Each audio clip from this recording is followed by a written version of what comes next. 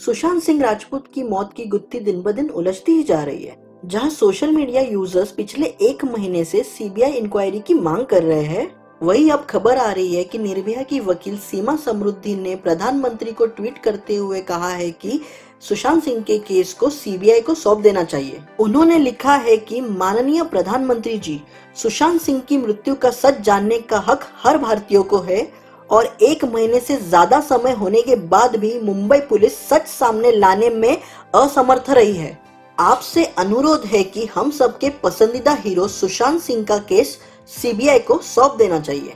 बता दे कि सुशांत सिंह के फैंस पहले दिन से ये मानने के लिए तैयार ही नहीं है कि सुशांत सिंह आत्महत्या कर सकते हैं और वे सीबीआई इंक्वायरी की मांग कर रहे थे। अब देखना ये होगा कि इस ट्वीट का रिप्लाई प्रधानमंत्री जी क्या देते हैं।